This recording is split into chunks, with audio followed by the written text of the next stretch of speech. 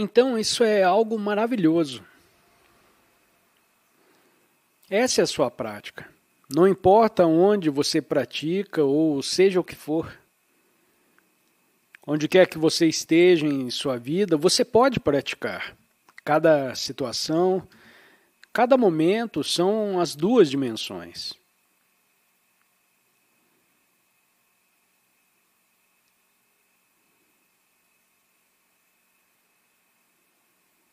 E é isso. O fim do medo vem com isso. O medo é uma condição humana normal para a maioria das pessoas, às vezes enterrada sobre outra coisa.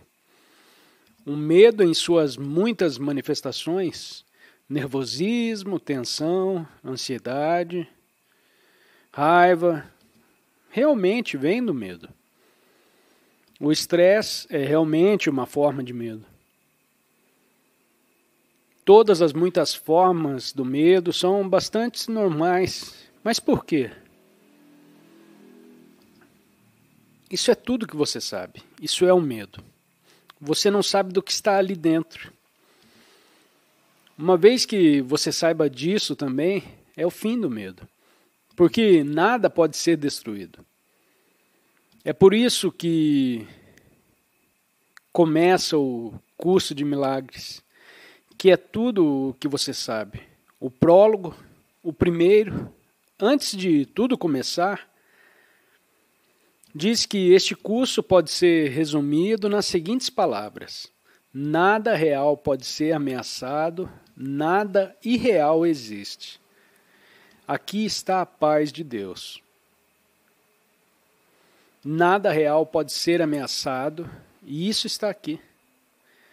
Porque nada irreal existe em última análise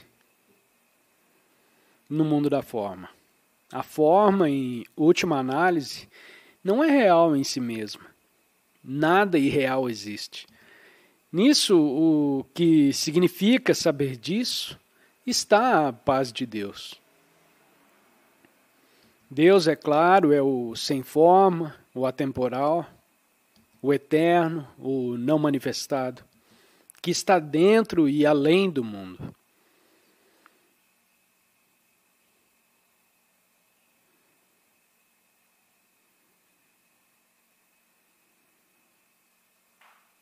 Alguns de vocês, como mencionei anteriormente, são capazes de sair de suas mentes e podem praticar isso por meio de uma escolha consciente.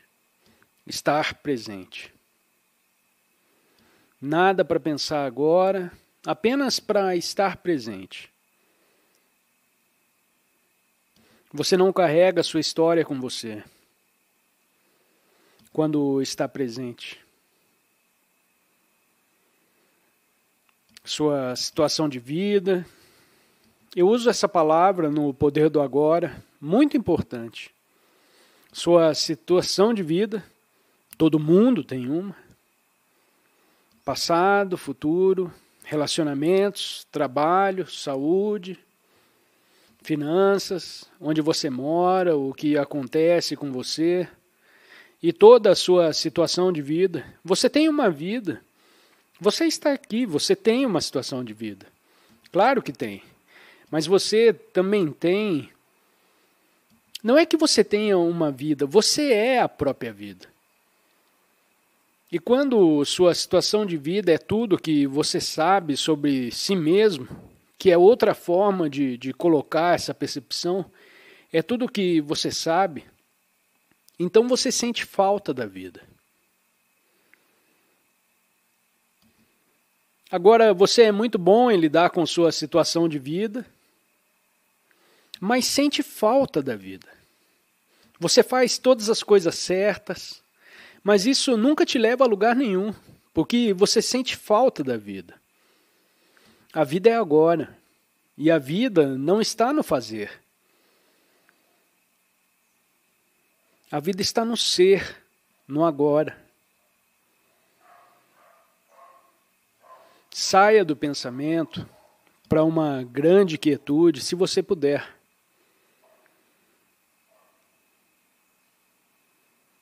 E também outra maneira é não acreditar completamente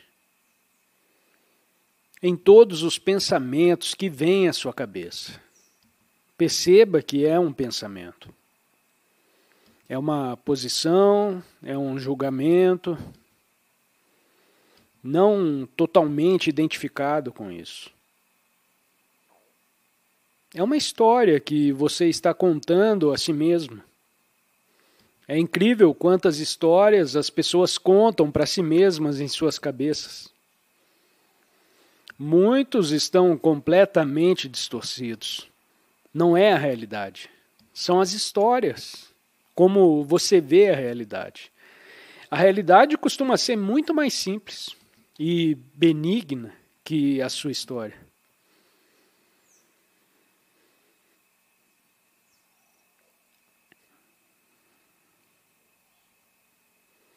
Uma das primeiras lições do curso em Milagres diz que você deve olhar para as coisas ao seu redor na sala e dizer: Nada do que vejo nesta sala significa alguma coisa. Essa mesa não significa nada, esse copo não significa nada, essa mão não significa nada, este chão não significa nada. Agora, o que essa lição significa? Isso não significa nada. o que isso significa é que está tentando apagar a conceituação contínua da realidade, com rabiscos em um quadro negro. Porque o que quer que você pense que significa é um conceito em sua mente. E se você negar a conceituação contínua e compulsiva da realidade, é como apagar o condicionamento de sua mente. E chegando no lugar onde está o Dalai Lama, não sei. Portanto, esta lição do curso em milagres, tudo que ela ensina é chegar ao lugar do vazio espaço do estado de alerta. Não mais preso ao pensamento conceitual. Isso não significa nada.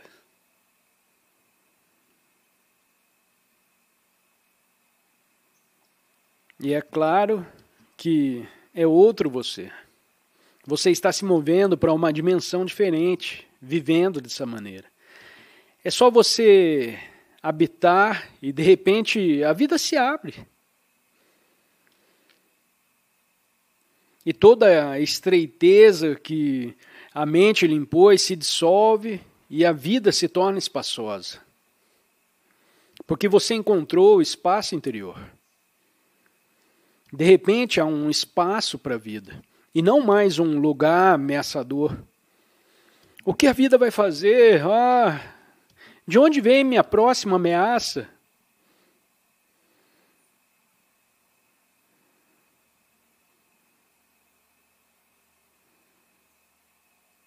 E novamente a mesma coisa. Por exemplo, há todo um ensinamento espiritual baseado em negar a realidade de sua história. Os ensinamentos de Byron Kate são baseados no simples fato de negar sua história de como eu sei. Eu realmente sei que isso é verdade? Não, eu realmente não posso saber disso. Então você chega ao mesmo lugar onde está o Dalai Lama. Eu não sei.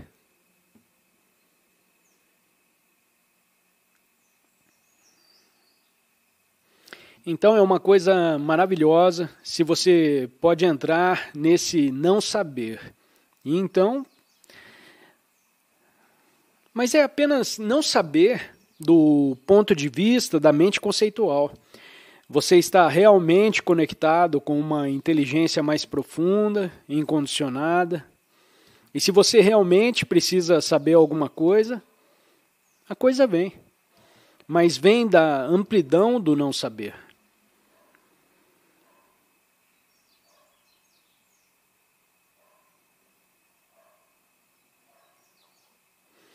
Bem, é um pouco como pular de um penhasco e depois ver se você consegue voar. para o ego é um pouco assim. O ego diz: ei, ei, não vá por aí, amigo. Porque o ego resolveu tudo. Ele explica o todo, tem a sua filosofia de vida, pode ser muito defeituoso, uma filosofia muito limitadora, mas tem algum tipo de filosofia de vida. Cada pessoa tem sua história através da qual interpreta a realidade. E geralmente não é uma obra de ficção agradável. Mas pelo menos você acha que sabe. Isso lhe dá uma base ilusória. E claro, o ego pensa: não posso, se eu abrir mão disso, eu não vou saber mais nada. O que, de certa forma, é verdade, mas não totalmente verdade. Em um sentido mais profundo, você apenas abre mão de uma distorção da realidade, criada pela mente condicionada, que faz parte da mente humana coletiva, em qual o seu atual estado de evolução. E assim a mente coletiva, da qual sua mente faz parte, criou esse mundo feito pelo homem, que está cheio de problemas. E eles parecem ser que surgem um após o outro. Quando você pensa que uma coisa é melhor agora, de repente, oh meu Deus, agora é economia. Ferrou. E é isso. Então é isso, e vem outra guerra. E é sempre assim.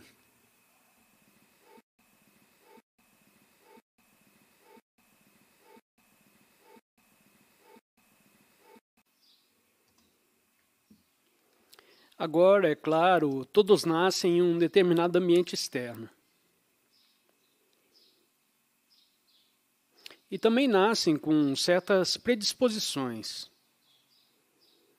Podem ser parcialmente genéticos, podem ser outras coisas, que uma pessoa nasce com certos padrões.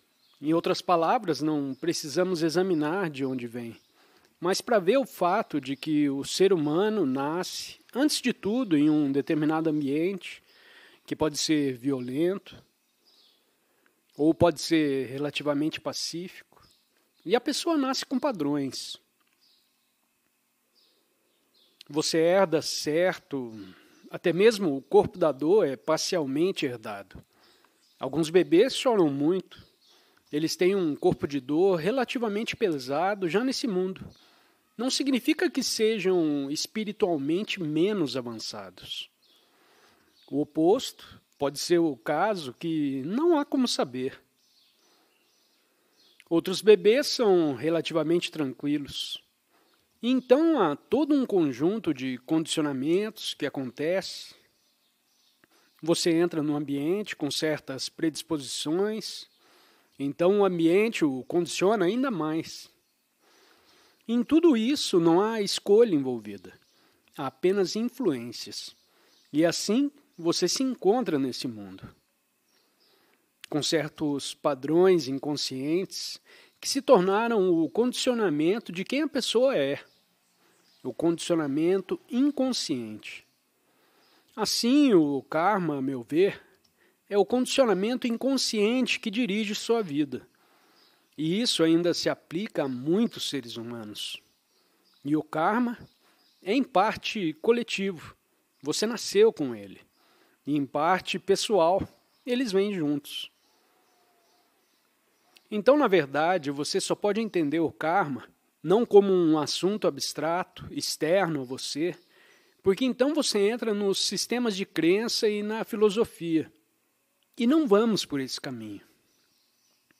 Você só pode entender o karma observando a si mesmo e observando, e então você saberá muitas outras coisas. Mas realmente, se você quer entender o karma, precisa olhar para si mesmo. Foi então que comecei a entender o que é karma, quando surgiu algo que não fazia parte do karma e realmente aqui chegamos. A chave, o surgimento da consciência, ou presença, ou despertar espiritual, não faz parte do karma.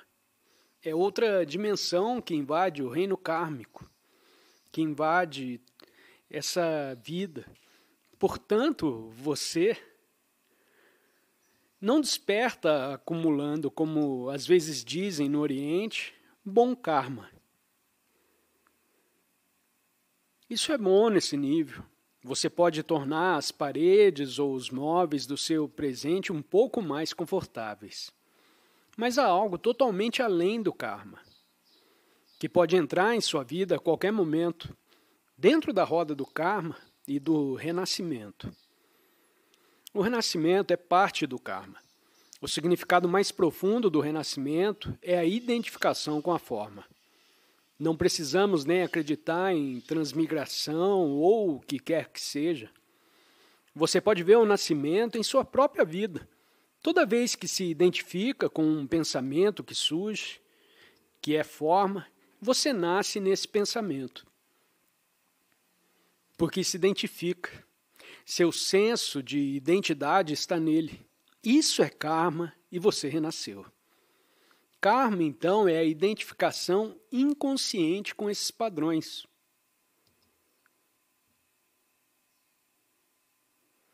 Que você herdou a identificação condicionada e completa da consciência com os padrões condicionados. Assim, a consciência está sonhando, pode-se dizer. É por isso que usamos a palavra despertar em muitas tradições espirituais. A consciência está despertando. A consciência está em um estado de sonho, quando você se identifica com os padrões inconscientes, e então você está condenado ao renascimento. De fato, muitas vezes, todos os dias, você renasce em uma reação, uma reação emocional, mental. Nenhuma presença, apenas renascimento em alguma forma. Ou você renasce em pensamentos que surgem, acredita completamente em cada pensamento e então age a partir desses pensamentos e emoções. E a ação cria outras reações. E as ações confirmam para você que você estava certo. Se você tem certos padrões mentais sobre, por exemplo, que outras pessoas são basicamente desonestas, Apenas um exemplo de pessoas. As pessoas são tão desonestas, estão todas tentando obter algo de mim, e isso tende a se confirmar em sua vida, na sua experiência. Você pode experimentá-lo ou pode tê-lo experimentado antes de se tornar mais consciente. Esses são os padrões de pensamento habituais com os quais você se identificou. E isso é karma. cria no externo a confirmação de que está correto. Então, se você acha que o mundo está cheio de pessoas más, você encontrará muitas pessoas más, ou seja, pessoas inconscientes. E mesmo as pessoas que estão conscientes ou que estão a meio caminho entre inconsciente e consciente, quando você se reúne com elas, sua crença as levará à inconsciência. E isso é karma. Portanto, karma é a ausência completa da presença consciente. E, portanto, é automático. Ele se esgota. E o tempo não liberta você do karma. Isso é uma percepção errônea de que, se você gastar tempo suficiente, eventualmente poderá se livrar do karma. O karma se renova e se repete. É uma roda. E assim a única coisa que pode libertá-lo do karma é o surgimento da presença. E como é que, para alguma presença de pessoa, não sei te dizer o porquê, só sei que a qualquer momento, na roda do karma, pode entrar a presença. Pode acontecer com um criminoso preso, condenado à morte. Isso pode acontecer com alguém que nunca ouviu falar de nada espiritual Pode acontecer com alguém que medita há 30 anos ou não acontecer com alguém que medita há 30 anos. Então, em sua própria vida, posso ver pelo que você está dizendo, essa presença, já posso sentir isso. A presença já entrou em sua vida. E a presença liberta você do karma, não de uma só vez. O karma tem um enorme impulso, ou seja, os padrões em você, os padrões de pensamento, os padrões emocionais, os padrões reativos. Há um enorme impulso por trás disso. Mas à medida que a presença surge, gradualmente o karma diminui. E a energia por trás dele diminui. E gradualmente você experimenta um desaparecimento desses padrões. Eles se tornam mais fracos. Você não está mais completamente nas garras desses padrões. Assim, à medida que a presença surge, há um desaparecimento gradual do karma. Não que isso importe mais, porque uma vez que você está presente, você pode, como disse o questionador anterior, quando estávamos falando sobre certos pensamentos ainda surgindo, certos pensamentos negativos, isso ainda faz parte do karma os velhos padrões, os padrões de hábitos inconscientes herdados, ainda surgem, mas não é mais problemático. E eles não causam mais o sofrimento que teriam causado antes, porque são vistos à luz da consciência. Assim surge a luz da consciência, e à luz da consciência, os padrões não dominam mais sua vida. Eles não comandam mais a sua vida. E se ocasionalmente acontecer de os padrões assumirem o controle, então, depois de um tempo, sua presença retorna e diz: Ah, bem, lá estava ela de novo. O corpo de dor faz parte do karma, que pode ser forte em algumas pessoas, não tão forte em outras, e assim que a presença surge, você se liberta do karma. Então você tem outro fator completamente diferente entrando em sua vida. E assim, por exemplo, para uma pessoa se livrar do karma coletivo, você precisa de uma quantidade considerável de presença. Para que isso entre para remover, então ele irá remover você de uma forma ou de outra ou internamente, você se encontra completamente livre. Você ainda pode viver em uma sociedade violenta, mas internamente você seria livre. Existe a possibilidade de você ter um homem ou uma mulher santo vivendo cercado de violência. É possível. É raro, mas é possível. Ou muitas vezes acontece que a vida te tira de lá e você se encontra em outro lugar. Então, digamos, um vasto karma coletivo, por exemplo, no caso de, digamos que você tem o Talibã lá, você tem todos os tipos de movimentos inconscientes, você tinha o comunismo soviético, você tinha o nacional-socialismo na Alemanha, e para uma pessoa nascer nisso e não ser arrastada para essa inconsciência, requer uma presença considerável. Portanto, poucas pessoas, por exemplo, na Alemanha, quando Hitler chegou ao poder, poucas pessoas conseguiram se mudar para algum lugar. Alguns artistas, alguns escritores, eles partiram. Eles podiam ver o que estava acontecendo e eram fortes o suficiente para não serem identificados com o coletivo. Quando havia uma tradição de obediência à autoridade por centenas de anos, uma tradição de seguir seu líder e assim por diante. Sair desse karma coletivo requer uma presença considerável, mas algumas pessoas a tinham. Portanto, é nosso destino ir além do karma, sendo os receptáculos da presença. Tudo o que você pode fazer para ser útil nesse mundo e ajudar os outros são as pessoas com quem você entra em contato. Todos nestes que estão despertando descobrirão que mais cedo ou mais tarde ele se torna uma espécie de professor para os outros. E o que um professor espiritual faz? O professor aponta a possibilidade de despertar da identificação com os padrões inconscientes, o que significa que o professor espiritual ensina você a ir além do karma. E então essa é a sua função e se tornará cada vez mais que você encontrar em sua vida. Seja você um professor formal ou um professor informal. Formal significa que você diz, ok, estou dando uma palestra ou alguém o convida e você dá uma palestra, isso se torna um ensino formal. Por muitos anos antes disso, eu me tornei um professor formal.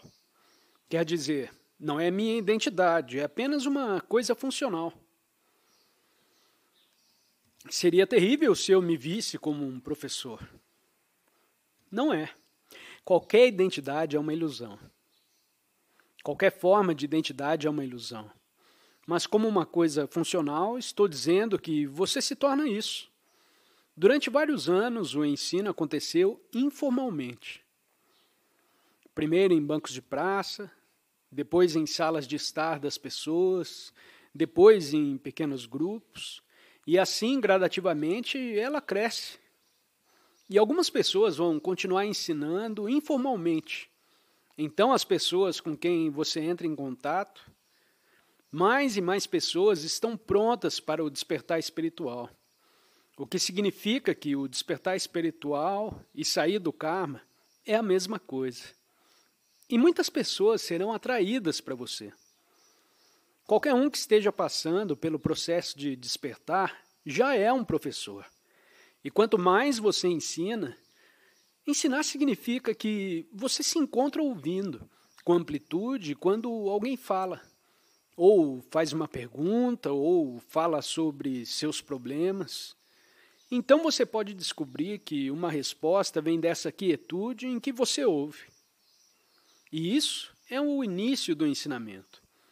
Você não tem a sensação de que, ok, ok, agora eu vou ensinar essa pessoa.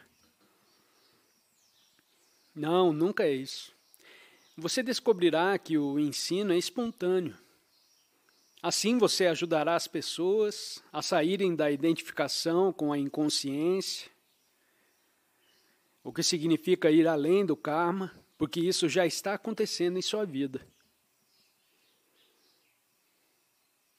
E isso se aplica a todos que estão despertando e passando pelo processo de despertar.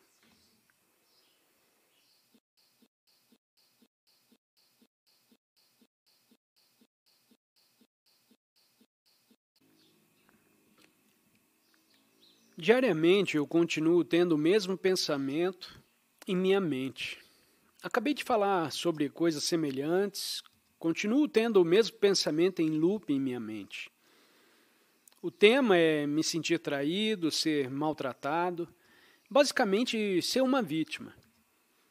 Com os pensamentos e imagens, geralmente há ressentimento ou raiva, e esse pensamento em loop vem ocorrendo há mais de um ano. Agora estou tendo desafios em ser o observador. A história parece ser tão hipnotizante. Estou me sentindo frustrado por continuar tendo esses pensamentos sobre o passado, pois entendo que me apegar ao passado está impedindo uma energia mais elevada que venha através de mim pelas recomendações que você nos dá sobre trabalhar essa questão e minhas sugestões, quaisquer sugestões sobre perdão e deixar de lado a regra da vítima para que eu possa expressar mais do que o olhar profundo, é que eu não sei realmente se uso esse termo durante nossas sessões aqui. Eu às vezes o uso, o olho profundo, é a consciência que deriva seu senso de identidade da consciência ao invés do olho da superfície, que é a personalidade. Então eles têm o olho do, do esôfago, o olho profundo. Então o looping de pensamento que você está experimentando tem a ver com sentir-se traído, ser maltratado e ser uma vítima. Agora, pois, acredito que Susan não está aqui porque é uma pergunta escrita do Novo México, mas presumo que esses pensamentos e emoções que são recorrentes repetidamente se referem a eventos reais que ocorreram. Presumo que aqui haja uma revivescência dos eventos na mente e a sensação de ser maltratado, traído, sendo uma vítima. E há ressentimento e raiva com isso ocorrendo há mais de um ano. Então presumo que algo aconteceu um pouco antes disso, talvez. E as pessoas fizeram algo para você, ou alguém, uma pessoa em particular.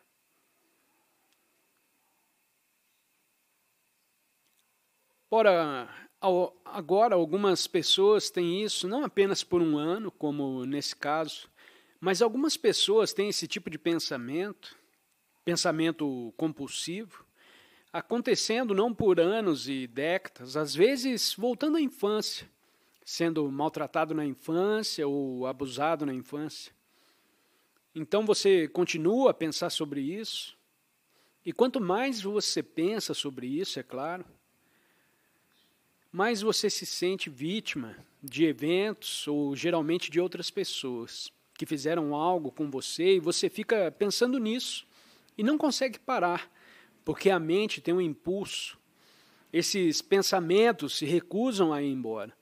E se não houver consciência suficiente, por causa dos pensamentos continuamente recorrentes, você os conhece porque eles se tornam parte da sua identidade, seu senso de identidade e para que você se torne uma vítima. Para ver a necessidade e a possibilidade de ir além de uma identidade de vítima, não se nega de forma alguma que algo doloroso aconteceu com você no passado, que algo foi feito com você, que algumas pessoas fizeram algo com você. Veja como é importante ir além da identidade de vítima. Não tem nada a ver com a negação do que aconteceu com você, completamente. O que aconteceu, você sabe disso e você conhece as emoções que isso criou. Mas a primeira coisa é: como um ser humano, como é um ser humano capaz de infligir sofrimento, por exemplo, a uma criança ou a outro ser humano? Isso acontece o tempo todo. Acontece a nível individual e acontece ainda mais a nível coletivo. O ego, a águia humana, é disfuncional o suficiente no individual mas é infinitamente mais disfuncional, perigoso e letal quando opera como um ego coletivo, em um grupo. É por isso que o conflito interno da guerra mata e os humanos que participam dessas coisas terríveis. É certo para os perpetradores, e eles, quando operam com um ego coletivo, não um pessoal, eles são capazes de atrocidades e atos muito piores do que seriam como indivíduos. Portanto, em outras palavras, o ego coletivo é ainda mais inconsciente, ousado e violento e perigoso do que o ego individual. Porque às vezes, quando você se identifica com o coletivo, meu país, por exemplo, lutando pelo meu país ou coletivo, pode ser um partido político ou o que quer que seja, ou pode ser um grupo religioso. Então, você, você, pessoas que são pessoas que pertencem a essas entidades, às vezes parecem que se libertam do ego porque vivem vivem completamente a serviço dessas entidades coletivas. Quero me sacrificar por meu país ou minha religião ou o que quer que pareça que eles são completamente livres do ego pessoal, e o mesmo acontece nas seitas, nos cultos. Muitas vezes as pessoas que vivem nos cultos são totalmente altruístas. Não querem, dão tudo de si e não querem nada para si. São e se identificaram com o grupo. Mas de claro que o ego realmente não diminuiu. O ego tornou-se enormemente amplificado, porque agora eles adotaram um ego grupal. E o grupo, o ego, só pode sobreviver e subsistir quando tem um número suficiente de inimigos lá fora.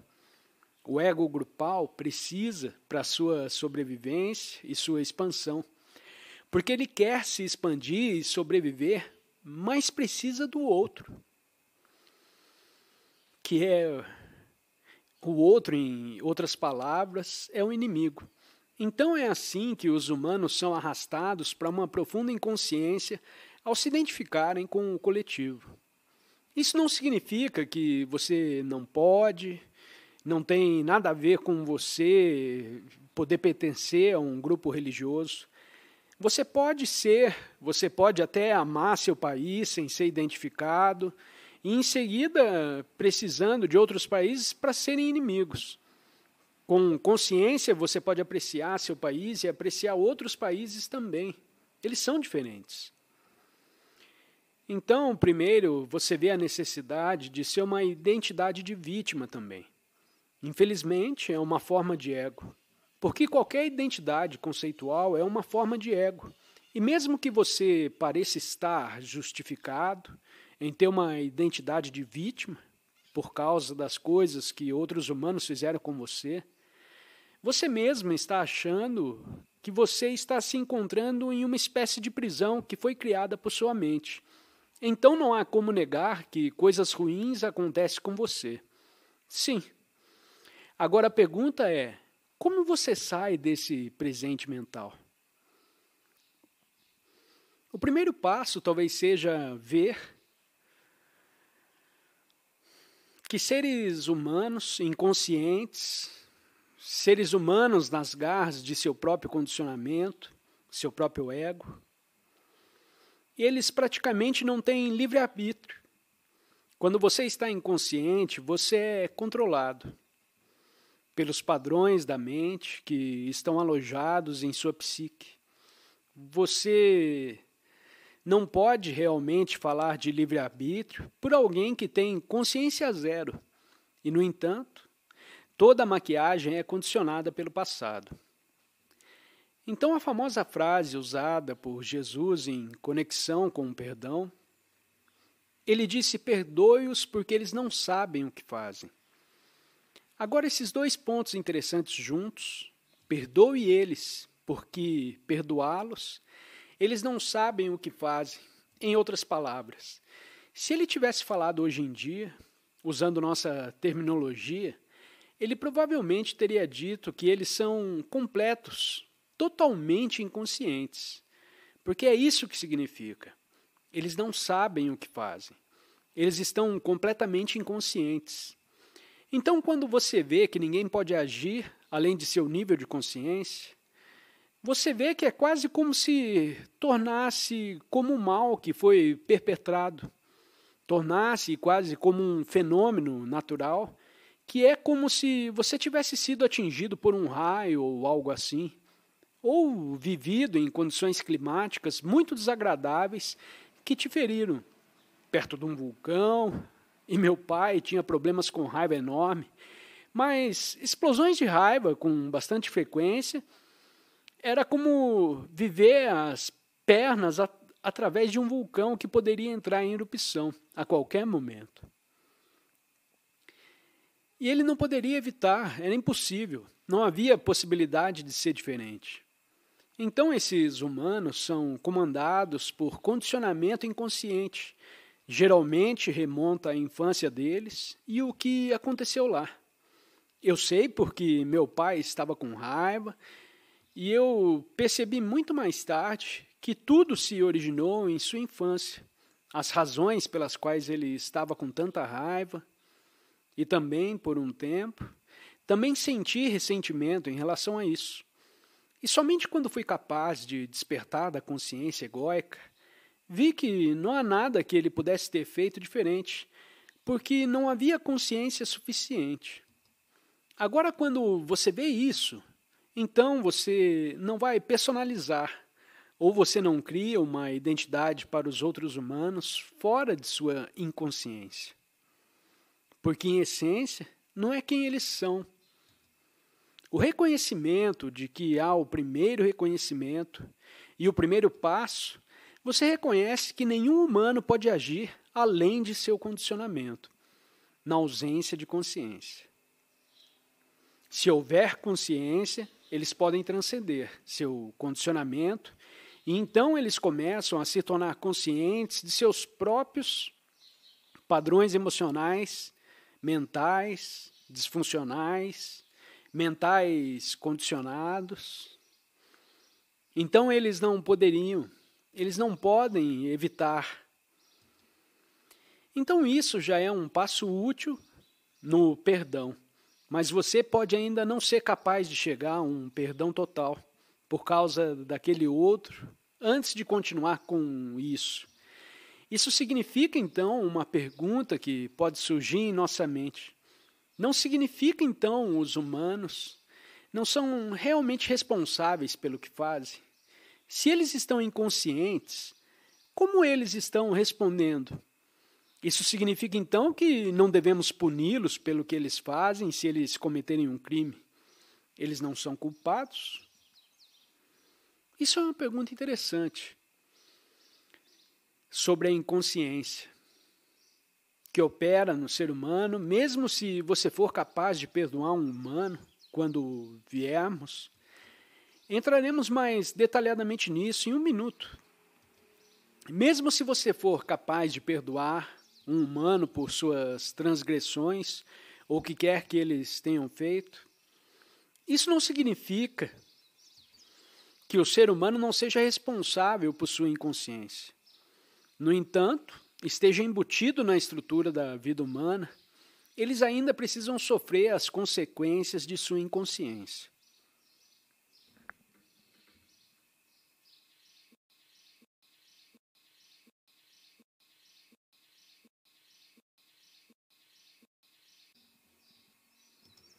Certas ações acontecem com você fazem coisas, você sabe que não são as coisas ideais para fazer, mas você não pode evitar. É algo que age através de você. Parece haver algum poder, e é aí que faz você fazer coisas que você sabe, não eu, não, eu estou bem, ou não sou bom para você, e ainda assim você não consegue parar. Isso parece ser o caso. E é claro que muitas vezes é o caso com pessoas que estão como você, que pode ser em muitas áreas diferentes da sua vida. Esse também é o caso com vícios, por exemplo. As pessoas são viciadas em uma determinada substância, ou que são viciadas em comer demais ou beber. Há algo que os domina. Em você que parece obscurecer a consciência ou a consciência é forçada a recitar isso, pensando que essa coisa poderosa faz isso de qualquer maneira. E novamente minha resposta é um pouco semelhante. Eu digo ao primeiro questionador essa noite: o poder da presença precisa crescer em você para que seja forte o suficiente não é força de vontade, porque força de vontade não é a melhor maneira de lidar com essas coisas. Mas é disso que estou falando. Às vezes pode ser confundido com força de vontade, mas a força de vontade inclui a aplicação da força para segurar algo. Digamos, se o seu vício é entrar em intoxicação, bebidas, em outras palavras, essas coisas. Você pode sentir isso, vem, você sabe que as garrafas estão lá, então você sente que tem que ir, então você tem que estender a mão e você tem que servir um copo e pronto, beba agora. Quando você não está ciente de tudo, você nem sabe o que está fazendo. Você está tão inconsciente que você já está segurando a bebida e já está bebendo. Então, você nesse ponto, você sabe o que você está bebendo. O mesmo com a comida. Já falei com pessoas que tiveram vícios em comida E costumavam dizer que acordam quando estão prontos ou já comeram no meio da noite, já comeram inconscientemente. Foram para a geladeira, tirando o bolo de chocolate, então eles já estavam na metade do bolo de chocolate, quando alguém disse: O que eu estou fazendo? Mas então a consciência vem em um ponto muito tarde. A força de vontade seria para conter um desejo. Digamos que eles têm que puxar ou até mesmo o exemplo que você deu de ligar a TV, você sabe que não está certo, porque eu não estou aqui para isso. E ele realmente nos disse para não fazer isso.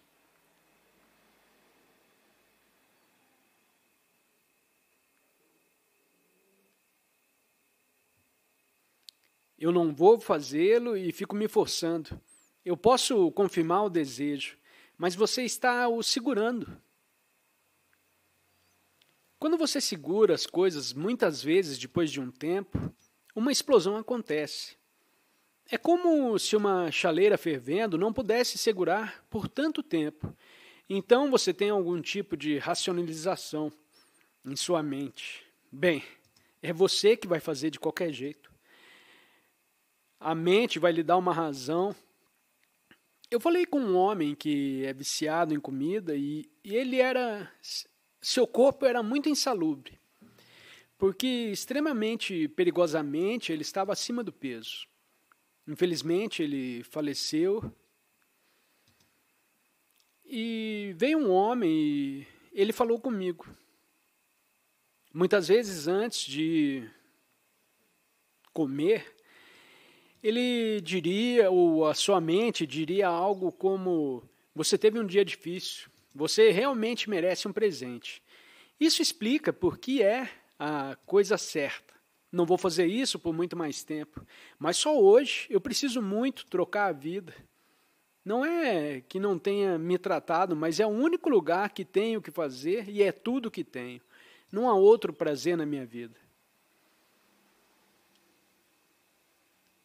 Eu tentei ser capaz de mostrar a ele que o pensamento é uma decepção.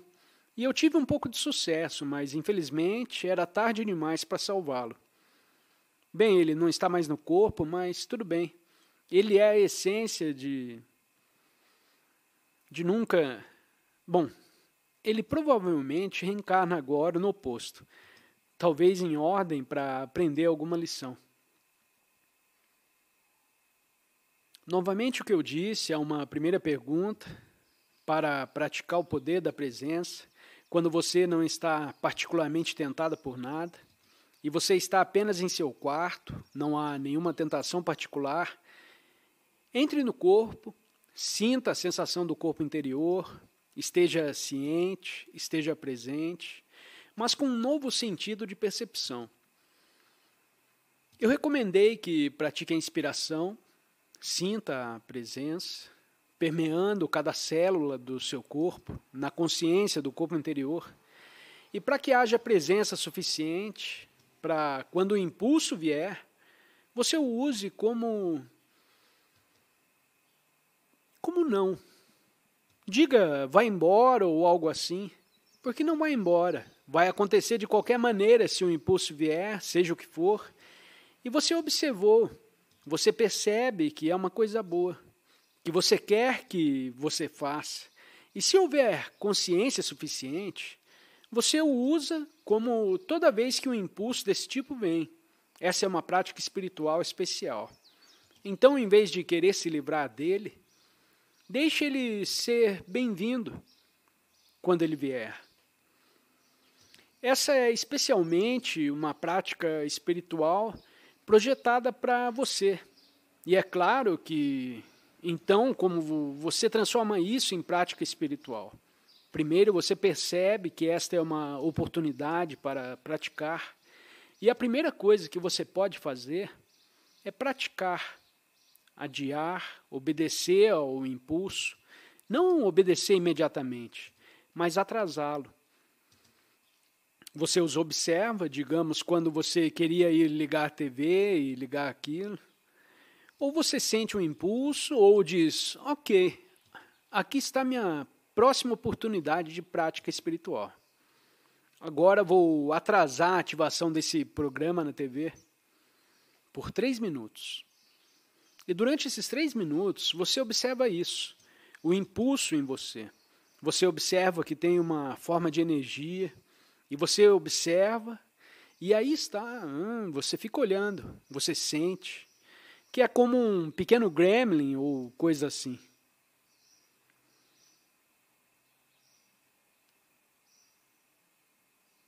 Dessa vez, o gap pode ser uma primeira prática muito útil que você introduz em um intervalo de tempo antes de ceder. Você não está dizendo que não vai desistir. Não, você diz que faltam três minutos para observá-lo. E você brilha a luz da sua consciência, a luz da consciência nesse impulso, que é uma forma de energia.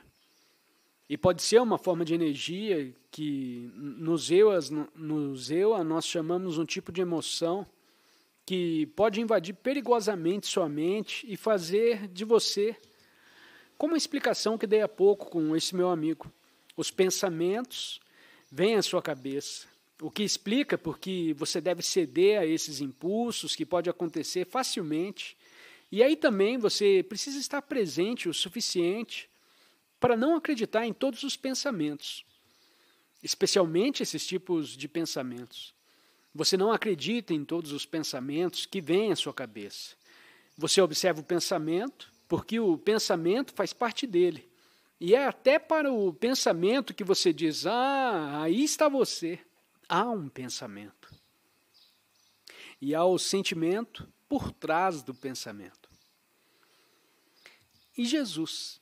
Você separa três minutos, durante esses três minutos você observa que é uma prática espiritual maravilhosa e interessante. Enquanto você observa, você cresce em consciência, você aplica consciência a ela, e aí você, apenas três minutos, três minutos, e depois dos três minutos, veja como você se sente. Pode não ter se dissolvido, mas provavelmente ainda está lá. Então você pode ver. Posso fazer mais dois ou três minutos. Ou sou forte o suficiente para isso. Minha consciência é forte o suficiente.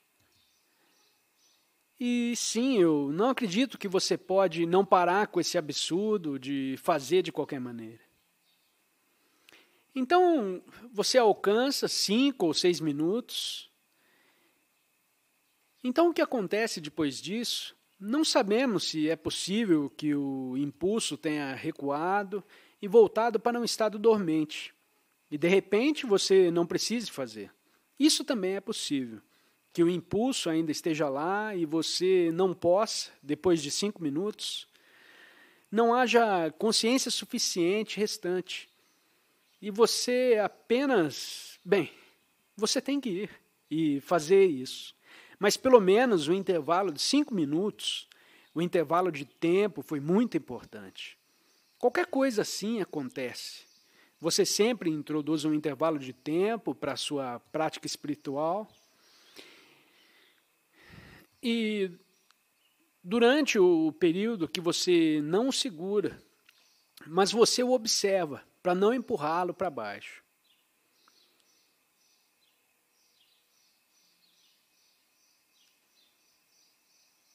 Você olha para isso e, e fala assim: ah, aí está. Agora o interessante, quando você aplica consciência a algo, quando você brilha a luz da consciência sobre isso, a possibilidade de transformação também está lá. Surge quando você brilha a luz da consciência sobre isso. Esse é o exemplo famoso de histórias de fadas e assim por diante. O sapo, você não mata o sapo ou você faz algo com ele, você beija o sapo. E no momento em que você beija o sapo, ele se transforma no príncipe. Então o sapo fica a partir disso, como na mitologia, alguma sabedoria embutida nesses contos de fadas que a propósito, onde muitos deles não foram criados pelas pessoas que os escreveram. Eles já foram transmitidos oralmente por longos períodos de tempo.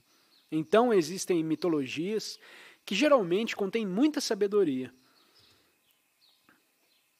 E o terminal de sabedoria em beijar o sapo, que depois se transforma em algo bonito, algo feio, mas você dá, você meio que dá uma aceitação e amor, você olha para ele, e então a transformação acontece. Parece que não é uma prática espiritual. E depois de um tempo você descobrirá isso, e inicialmente, talvez após um intervalo de tempo, você ainda o faça. Mas gradualmente, dessa vez, o gap fica mais longo. E então você pode observar que a energia por trás do impulso enfraquece e diminui até a próxima vez. Mas gradualmente ele enfraquece. E todos esses mecanismos de autossabotagem começam a desaparecer gradualmente se você aplicar a consciência a ele para observá-los. Então, pense no sapo. Esses são todos os sapos e o que quer que sejam sapos, gremlins, que vivem em você como campos de energia. E as energias estão presas lá. Elas não são ruins em si mesmas elas estão presas como o corpo de dor, é uma energia que é energia emocional. Quando o corpo de dor se dissolve, suas armas se transformam em presença. É como um fogo que você coloca uma lenha, ele meio que se consome, se transmuta. Talvez seja a palavra certa. Se transmuta em presença e aqui temos novamente o famoso exemplo de, na Idade Média, certos filósofos estavam muito interessados em alquimia. A alquimia era para ser a transformação de metal básico em ouro através de um processo químico de transformação. Mas o verdadeiro significado por trás da alquimia era a transformação da consciência humana e eles tinham muitas imagens, e assim por diante, eles não podiam falar e escrever sobre isso abertamente, porque eles teriam sido executados pela igreja na época. Então eles tiveram que esconder todos esses símbolos como se fosse para fazer a transformação de metal base em ouro, de algo que, antes de tudo, não é muito desejável, em algo maravilhoso. E esse é o processo alquímico de transmutação que realmente é algo na psique humana. Há todo um longo tratado escrito por Carl Jung, o psicólogo, que fala sobre alquimia com inúmeras ilustrações e coisas simplesmente fascinantes. Mas é, é tudo a transformação de algo indesejável inicialmente em consciência ou em consciência. Então isso é você tem sorte. Isso é projetado para a prática espiritual para você.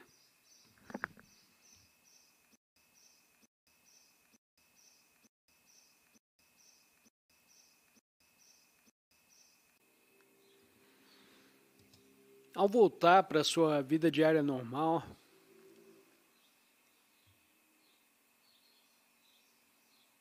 espero que o retiro não termine mas permaneça com você e dentro de você.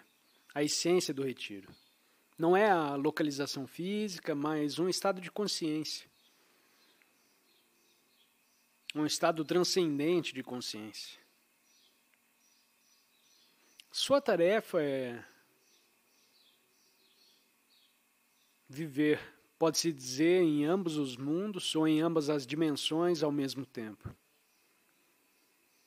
Ocasionalmente você pode se perder na dimensão mundana e horizontal, no reino do fazer, no reino do pensamento.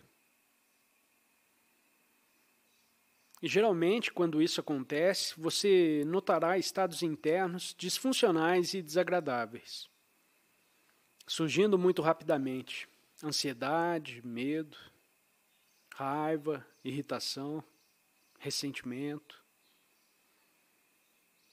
problemas. E se você está nesse estado e depois é desconectado novamente do transcendente, da dimensão do ser, da outra dimensão, Então, esse é o estado inconsciente. E se não houver problema, você o criará. Isso é o que os humanos fazem. Somos encrenqueiros. Mas em um nível individual e coletivo, se você quiser aprender muito sobre criar problemas coletivamente, assista ao noticiário.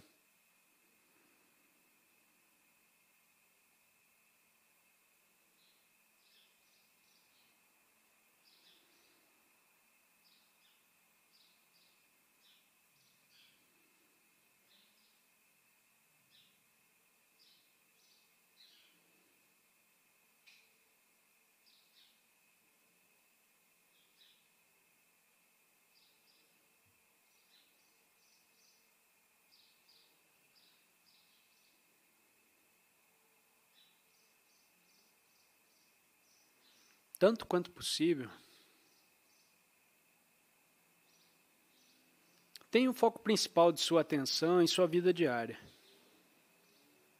no momento presente. O resto da sua atenção. Então, esse é o foco principal. Aqui é isso. O resto da sua atenção é para onde você quer ir qualquer que seja a tarefa em que você esteja engajado, tenha um certo propósito. O objetivo é que você deseja concluir a tarefa. Então, ela alcançou seu objetivo. E isso é aqui. Coloque de lado, isso está em sua periferia. A visão periférica de sua consciência. É onde você quer chegar. E é isso que você está fazendo para chegar lá. E a sua atenção principal não está onde você quer chegar.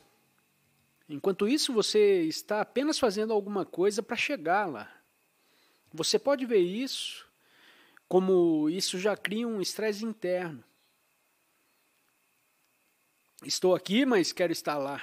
Essa é uma maneira normal de viver. A maior parte da atenção das pessoas está lá. Mas enquanto isso, elas estão aqui, onde realmente não querem estar. Eles preferem estar lá como mostram adesivos famosos, adesivos de para-choque de caminhão, que dizem algo como: prefiro pescar.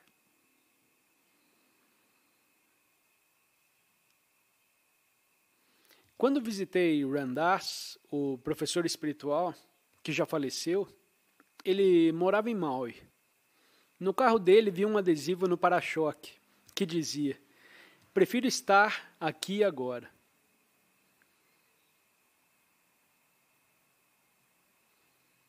Esse é um bom ensinamento em um adesivo de para-choque.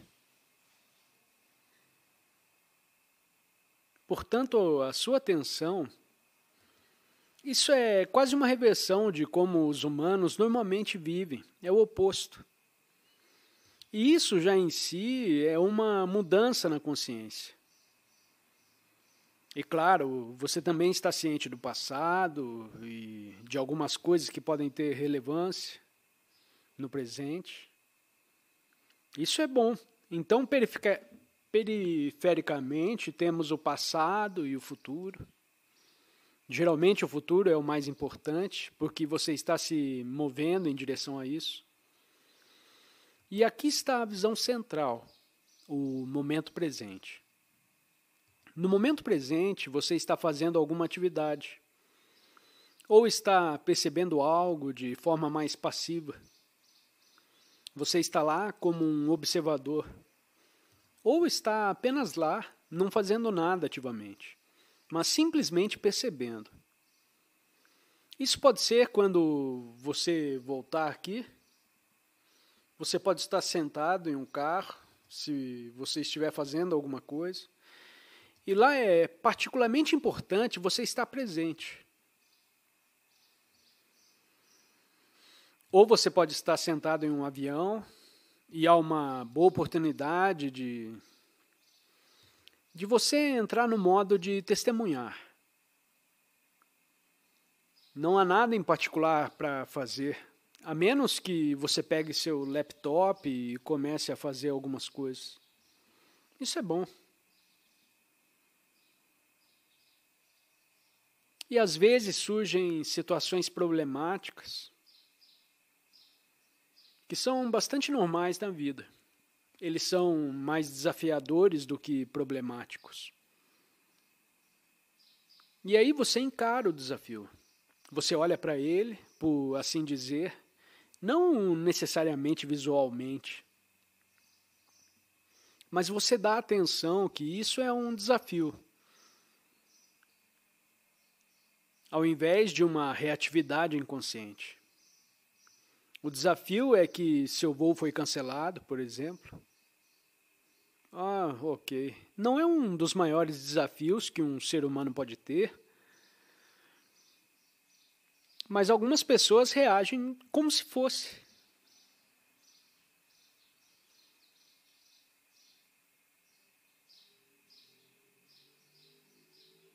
E quando surge algum desafio, algo que eu possa fazer para responder a essa situação?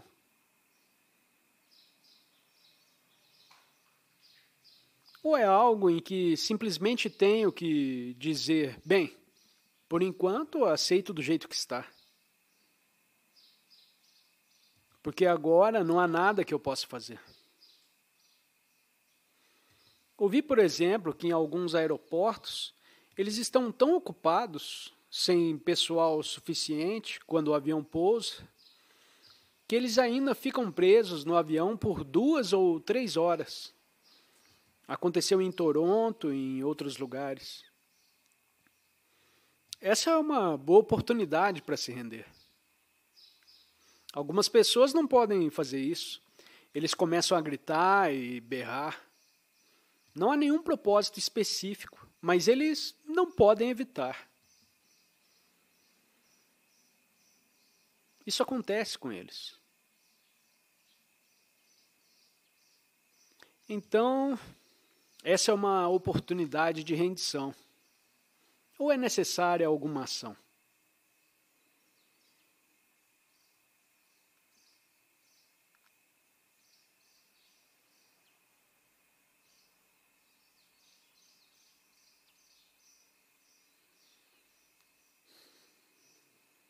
Essa é uma prática para se acostumar até que se torne uma segunda natureza, ter sua atenção no momento presente e não em outro lugar. E geralmente implica que você está ciente do que está ao seu redor.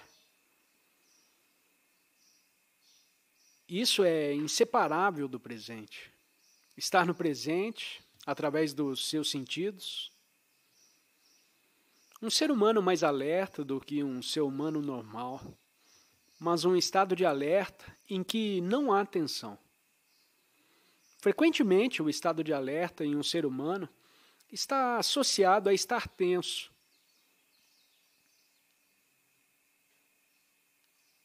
Mas há um estado de alerta sem tensão.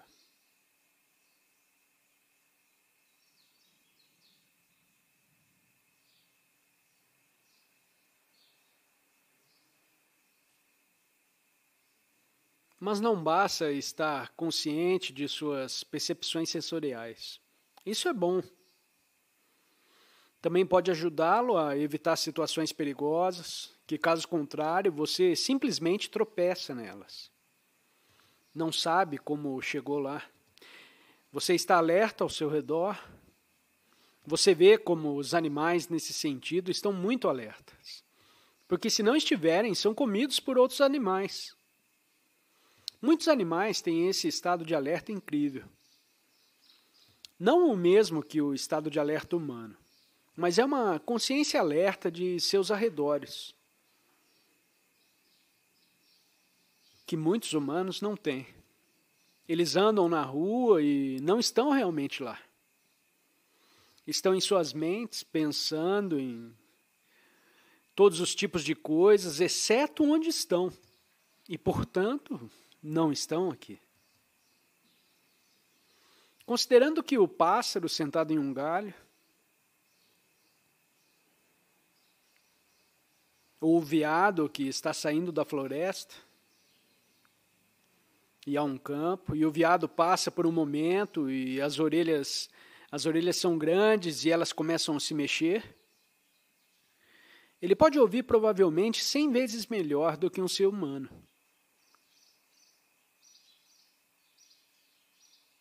Ou um pássaro em um galho sentado. Ele fica assim, se movendo e olhando para todos os lados. Tudo chama sua atenção.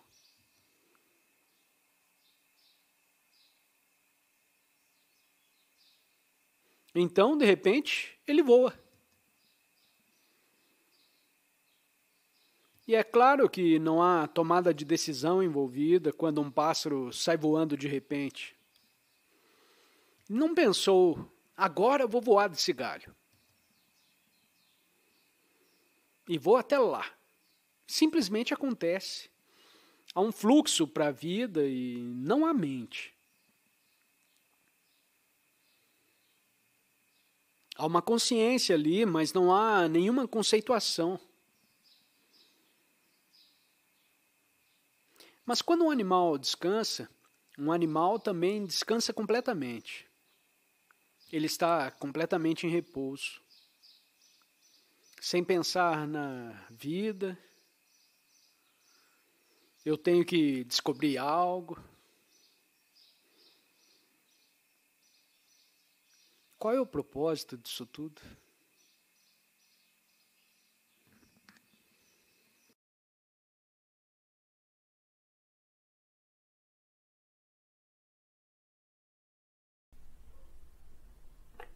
Para demonstrar como você se deixou dominar pelo tempo psicológico, experimente usar o critério de se perguntar se existe alegria, naturalidade e leveza no que você está fazendo.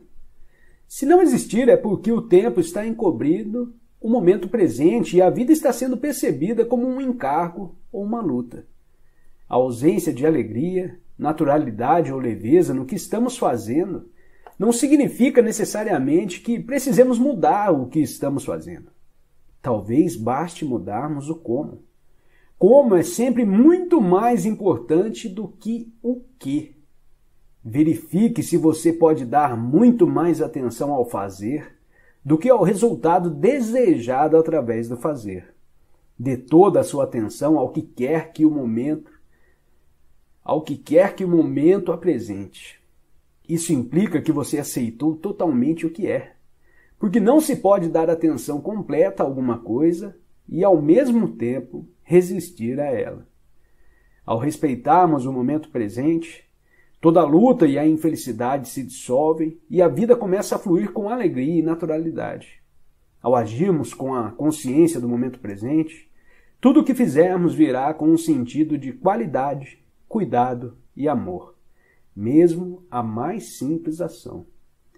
Portanto, não se preocupe com o resultado da sua ação, basta dar atenção à ação em si. O resultado surgirá espontaneamente. Essa é uma valiosa prática espiritual. No Bhagavad Gita, um dos mais antigos e mais belos ensinamentos espirituais que existem, o desapego ao resultado da ação é chamado Karma Yoga. É descrito como o caminho da ação santificada. Ao fim dessa luta compulsiva contra o agora, a alegria do ser passa a fluir em tudo o que fazemos. No momento em que a nossa atenção se volta para o agora, Percebemos uma presença, uma serenidade, uma paz. Não dependemos mais do futuro para obtermos plenitude e satisfação. Não olhamos mais como salvação.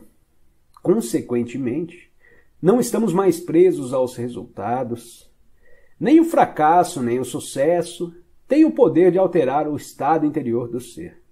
Você acabou de encontrar a vida sobre a situação de vida na ausência do tempo psicológico, o nosso sentido do eu interior provém do ser, não do nosso passado pessoal.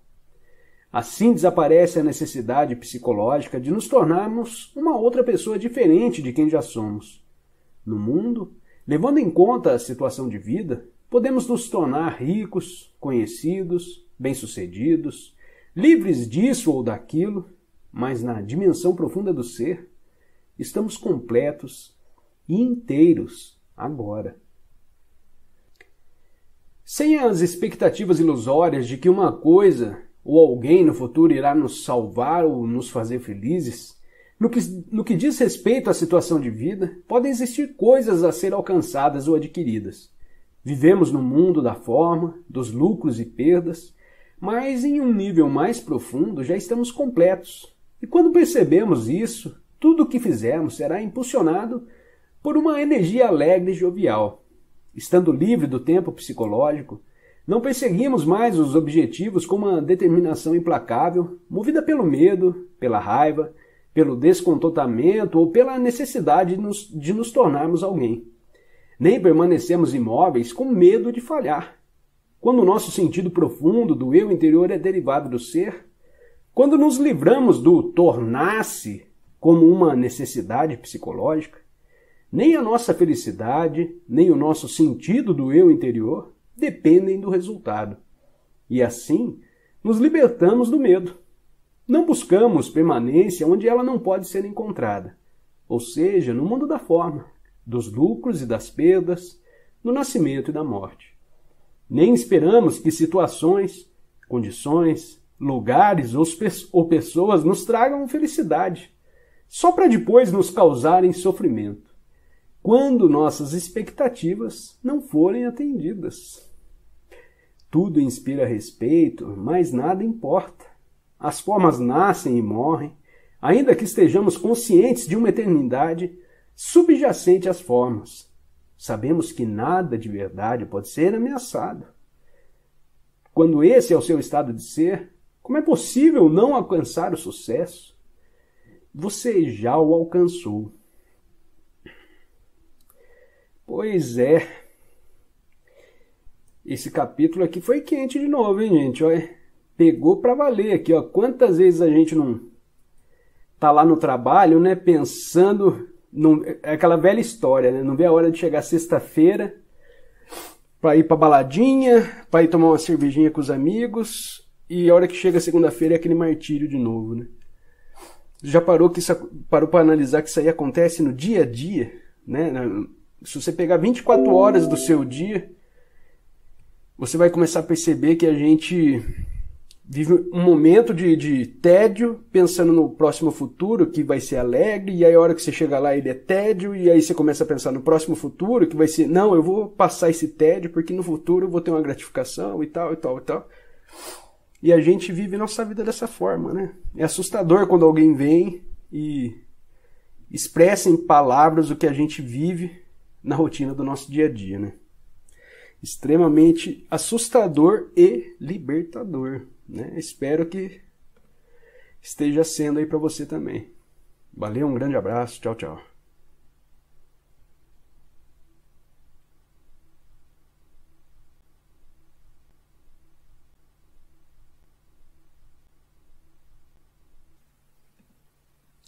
Ser é a eterna e sempre presente vida única, que existe além das inúmeras formas de vida sujeitas ao nascimento e à morte. Entretanto, o ser não está apenas além, mas também dentro de todas as formas, com a mais profunda, invisível e indestrutível essência interior. Isso significa que ele está ao seu alcance agora, sob a forma de um eu interior, mais profundo, que é a verdadeira natureza dentro de você. Mas não procure apreendê-lo com a mente. Não tente entendê-lo. Só é possível conhecê-lo quando a mente está serena. Se estiver alerta, com toda a sua atenção voltada para o agora, você até poderá sentir o ser, mas jamais conseguirá compreendê-lo mentalmente. Recuperar a consciência do ser e submeter-se a esse estado de percepção dos sentidos é o que se chama iluminação. A palavra Deus tornou-se vazia de significado ao longo de milhares de anos de utilização imprópria. Emprego-a ocasionalmente, mas com moderação. Considero imprópria a utilização por pessoas que jamais tiveram a menor ideia do reino do sagrado, da infinita imensidão contida nesta palavra, mas que a usam com grande convicção, como se soubessem do que estão falando. Existem ainda aqueles que questionam o termo como se soubessem o que estão discutindo. Esse uso indevido dá origem a crenças, afirmações e delírios absurdos, tais como o meu ou o nosso Deus é o único Deus verdadeiro, o seu Deus é falso. Ou a famosa frase de Nietzsche: Deus está morto. A palavra Deus se tornou um conceito fechado. Quando pronunciamos, criamos uma imagem mental. Talvez não mais a de um velhinho de barba branca, mas ainda uma representação mental de alguém ou de algo externo a nós. E quase inevitavelmente, alguém ou alguma coisa do sexo masculino. Tanto Deus quanto ser são palavras que não conseguem definir nem explicar a realidade por trás delas. Ser, entretanto, tem a vantagem de sugerir um conceito aberto. Não reduz o invisível infinito a uma entidade finita. É possível formar uma imagem mental a esse respeito. Ninguém é impossível formar uma mensagem, uma imagem mental a esse respeito.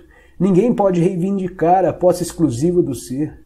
É a sua essência, tão acessível como sentir a sua própria presença a realização do eu sou, que antecede o eu sou isso ou eu sou aquilo.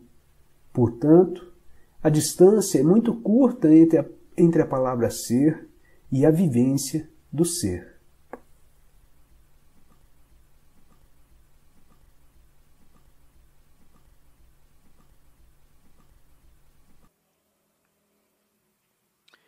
Concentrar sua atenção no agora não é negar o que é necessário em sua vida e reconhecer o que é prioritário.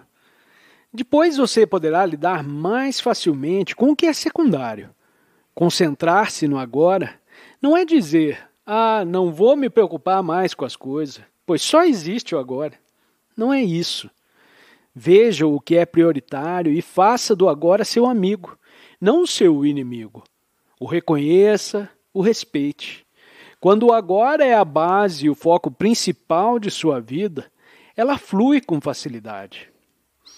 Guardar os pratos no armário, criar uma estratégia de trabalho, planejar uma viagem, o que é mais importante? O ato de fazer ou o resultado que você quer atingir com o que está fazendo? Este momento ou algum momento futuro? Você trata o momento atual como um obstáculo que precisa ser ultrapassado? Você considera mais importante o momento futuro que quer atingir? A maioria das pessoas vive assim.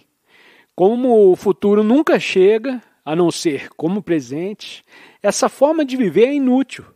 Causa uma constante sensação de desconforto, tensão e insatisfação não respeita a vida, que é o agora. Sinta a vida em seu corpo. Isso enraiza você no agora. A vida da maioria das pessoas é conduzida pelo desejo e pelo medo. O desejo é a necessidade de acrescentar algo a você para ser mais plenamente você mesmo. Todos os medos são medo de perder alguma coisa e, portanto, tornar-se menor e ser menos. Esses dois movimentos nos impedem de perceber que ser não é algo que possa ser dado ou tirado. O ser, em sua plenitude, já está dentro de você agora.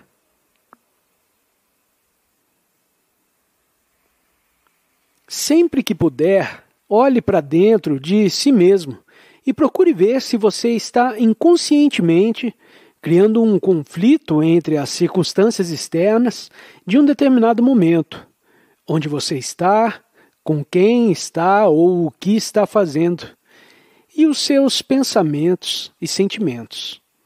Você consegue sentir como é doloroso ficar se opondo internamente ao que é? Quando reconhece esse conflito, você percebe que agora está livre para abrir mão dessa guerra interna inútil. Quando olha para uma árvore, você toma consciência da existência da árvore. Quando pensa ou sente alguma coisa, toma consciência do pensamento ou da sensação. Quando passa por uma experiência, boa ou ruim, toma consciência dessa experiência. Essas afirmações parecem verdadeiras e óbvias, mas se você examiná-las atentamente, perceberá que, de uma forma sutil, elas contêm uma ilusão básica, que se torna inevitável quando se usa a linguagem. O pensamento e a linguagem criam uma aparente dualidade, como se houvesse uma pessoa e uma consciência separadas. Isso não existe. A verdade é que você não é uma pessoa que toma consciência da árvore, do pensamento, do sentimento ou da experiência. Você é a consciência na qual e através da qual essas coisas existem. Você se percebe como a consciência na qual todo o conteúdo de sua vida se desdobra? Quando você passa a dar atenção ao agora, cria-se um estado de alerta. É como se você acordasse de um sonho, o sonho do pensamento, o sonho do passado e do futuro. E é tão claro e tão simples. Não sobra lugar para criar problemas. Só esse momento, tal como ele é. Quando concentra sua atenção no agora, você se dá conta de que a vida é sagrada. Existe algo de sagrado em tudo o que você percebe quando se concentra no presente. Quanto mais você viver no agora, mais vai sentir a simples e profunda alegria de ser e do caráter sagrado da vida. A maior parte das pessoas confunde o agora com o que acontece no agora. Mas não é isso. O agora é mais profundo do que o, o que ocorre nele. É o espaço no qual tudo acontece. Portanto, não confunda o conteúdo do momento presente com o agora. O agora é mais profundo do que qualquer conteúdo que exista nele. Ao caminhar ou descansar em meio à natureza, respeite esse reino deixando-se estar totalmente nele. Pare e fique em silêncio. Olhe, ouça, veja como cada planta e cada animal são completos em si mesmos. Ao contrário dos seres humanos, eles não se dividem. Não precisam se afirmar criando imagens de si mesmos. E por isso, não precisam se preocupar em proteger e realçar essas imagens. O esquilo é ele mesmo. A rosa é ela mesma. Tudo na natureza é um e ao mesmo tempo é um com o todo. Nenhum elemento se afastou do tecido do todo em busca de uma existência separada. Eu e o resto do universo. Contemplar a natureza pode libertar você desse eu, que é o grande causador de problemas. Preste atenção nos inúmeros pequenos sons da natureza: o fafalhar das folhas ao vento, os pingos da chuva, o zumbido de um inseto, o primeiro trinar de um pássaro no alvorecer. Dedique-se inteiramente ao fato e o ato de ouvir. Para além dos sons, existe algo maior, um sentido de sagrado que não pode ser entendido através do pensamento.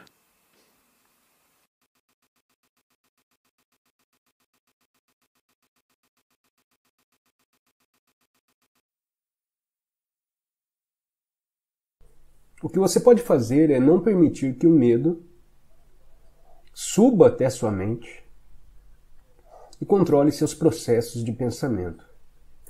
Porque então aconteceria uma coisa normal quando se está identificado.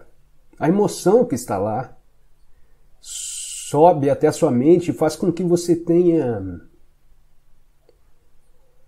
pensamentos que correspondem à emoção. Nesse caso, pensamentos de medo, então você teria um círculo vicioso estabelecido entre o medo emocional daquilo que você pensa e que são pensamentos de medo, gerando mais energia para a emoção. Portanto, quanto mais pensamentos de medo você tem, mais se perpetua o medo que você sente. Então, para cortar, para cessar a união entre as emoções que você sente e o seu processo de pensamento, o que você terá de fazer é. Isso não é agradável, mas é possível. Você coloca sua atenção na emoção que está sentindo. É desagradável, mas não irá matá-lo. Uma criança poderá não conseguir fazer isso se for intenso e talvez tenha que escapar para alguma dissociação ou qualquer outra coisa possível. Mas um adulto, o medo não irá matá-lo. Poderá matá-lo se você permitir que suba até a sua mente, porque você poderá pensar em suicídio por não suportar mais, mas não o matará diretamente. Então, sinta isso então, faça a luz da consciência brilhar sobre isso. E talvez você tenha de fazer isso, muitas vezes. E primeiro, não é agradável, mas é o queimar a velha emoção. E a única maneira de livrar-se disso é aceitar isso como se apresenta exatamente agora.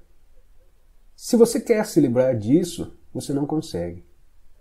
Mas a completa aceitação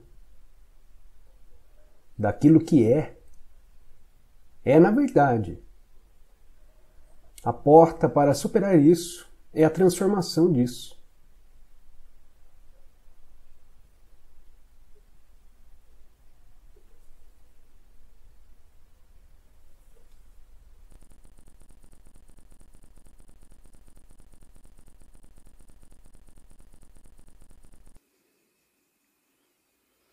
Será que o sofrimento é realmente necessário?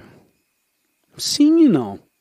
Se você não tivesse sofrido o que sofreu, não teria profundidade como ser humano, não teria humildade nem compaixão.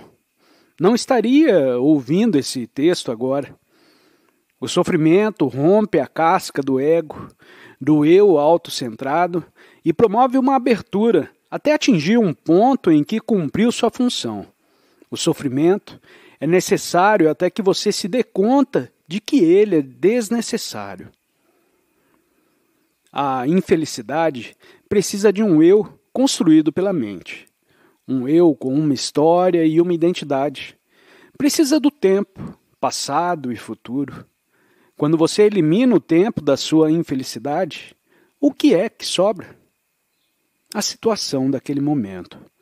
Pode ser uma sensação de peso, agitação, aperto no peito, raiva ou até enjoo. Isso não é infelicidade nem um problema pessoal. Não há nada de pessoal no sofrimento humano. Trata-se apenas de uma forte pressão ou uma grande energia que você sente em alguma parte do corpo. Se você concentra sua atenção nessa energia, a sensação não se transforma em pensamento e assim não reativa o eu infeliz. Veja o que acontece quando você simplesmente permite que um sentimento exista. A entrega consiste em entregar-se a esse momento, e não a uma história através da qual você interpreta esse momento e depois tenta se conformar com ela. Por exemplo, você pode sofrer um acidente e ficar paralítico. A situação real é esta. Será que sua mente vai inventar uma história que diz: Minha vida ficou assim, acabei numa cadeira de rodas, a vida foi dura e injusta comigo, eu não mereço? Ou será que você é capaz de aceitar esse momento, tal como é, e não confundi-lo com uma história que sua mente inventou a partir da situação real? A aceitação e a entrega existem quando você não se pergunta mais por que isso foi acontecer comigo. Todas as coisas são ligadas. Os budistas sempre souberam o que os cientistas agora confirmam. Nada do que ocorre é isolado do resto, apenas parece ser. Quanto mais julgamos e rotulamos, mais isolamos as coisas É o nosso pensamento que fragmenta o todo da vida. Mas a totalidade da vida denuncia esse fato. A vida é constituída pela rede de conexões que é o cosmos. Na maioria dos casos, não conseguimos entender como um fato, aparentemente insignificante, pode exercer algum papel na totalidade do cosmos. Mas reconhecer que qualquer fato, por mais irrelevante que possa parecer, desempenha um papel dentro da vastidão do todo, é começar a aceitar as coisas tais como são. Você atinge a verdadeira liberdade e o fim do sofrimento quando vive como se o que sente ou o que experimenta, neste momento, fosse uma escolha completamente sua. Essa harmonização interna com o agora é o fim do sofrimento. Se você estabelece objetivos autocentrados na sua busca de libertação e de autovalorização, mesmo que os atinja, eles não irão satisfazê-lo. Estabeleça objetivos, sabendo, porém, que o mais importante não é atingi-los. Quando alguma coisa inesperada acontece, fica demonstrado que o momento presente, o agora, não é apenas um meio para atingir um fim. Cada momento do processo é importante em si. Busque seu objetivo, valorizando cada passo da caminhada. Só assim você não se deixará dominar pela consciência autocentrada. Com que facilidade as pessoas ficam aprisionadas nas armadilhas de seus pensamentos? Como a mente humana tem um imenso desejo de saber, de compreender e de controlar, ela confunde opiniões e pontos de vista com a verdade. A mente afirma: as coisas são exatamente assim. Você precisa ir além dos seus pensamentos para perceber que, ao interpretar a sua vida, ou a vida e o comportamento dos outros, ao julgar qualquer situação, você está expressando apenas um ponto de vista entre muitos possíveis. Suas opiniões e pontos de vista não passam de um punhado de pensamentos. Mas a realidade é outra coisa. Ela é um todo unificado em que todas as coisas se interligam e nada existe em si e por si. Pensar fragmenta a realidade, cortando-a em pequenos pedaços em pequenos conceitos. A mente pensante é uma ferramenta útil e poderosa, mas se torna muito limitadora quando invade completamente a sua vida, impedindo você de perceber que a mente é apenas um pequeno aspecto da consciência que você é.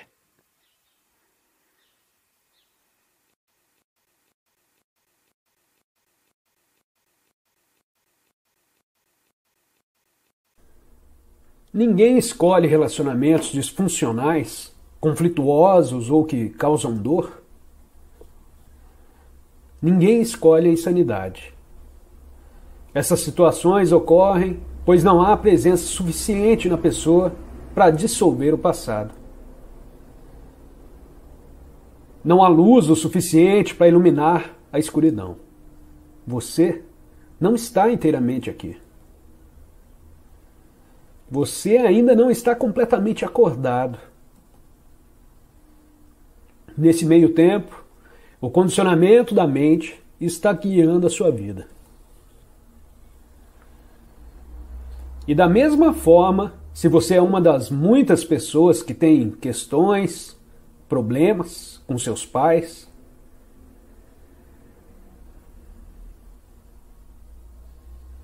se você ainda tem ressentimentos sobre algo que eles fizeram ou não, então se você acredita que eles tiveram uma escolha, que eles poderiam ter agido de maneira diferente,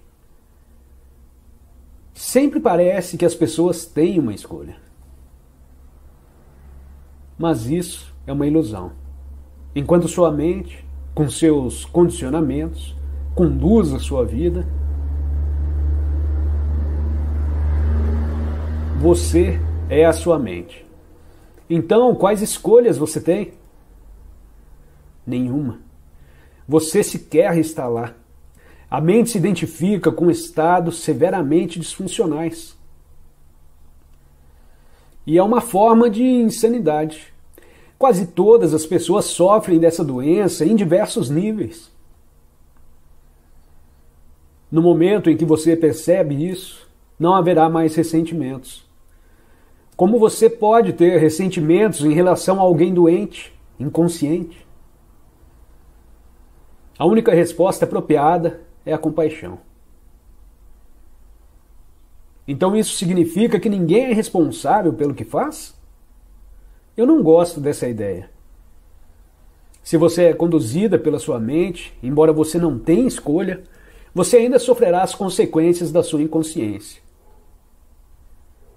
E vai criar cada vez mais sofrimento. Você suportará o peso do medo, dos conflitos, dos problemas e da dor. Eventualmente, o sofrimento criado vai te forçar a sair do estado inconsciente. O que você fala sobre escolhas também se aplica ao perdão, eu suponho. Você tem que estar completamente consciente e render ao que é antes de continuar. Perdão é um termo que tem sido utilizado por mais de dois mil anos. Mas a maioria das pessoas tem uma visão limitada sobre o seu significado. Você não pode perdoar a si mesmo ou aos outros enquanto baseia seu senso de si mesmo no seu passado. Somente acessando o poder do agora, que é seu próprio poder e que é verdadeiramente é que verdadeiramente poderá haver verdadeiro perdão. Isso torna o passado impotente. E você percebe profundamente que nada do que fez ou que fizeram para você poderia tocar no mesmo numa mínima parte que compõe a essência radiante de quem você é. A concepção de perdão, então, torna-se desnecessária. E como eu atinjo esse ponto de realização? Quando você aceitar e se render àquilo que é e ficar completamente presente, o passado deixa de ter qualquer poder. Você não precisa mais dele. A presença é a chave. O agora é a chave. E como vou saber que eu aceitei ou me rendi? Quando você não mais precisar fazer perguntas sobre isso.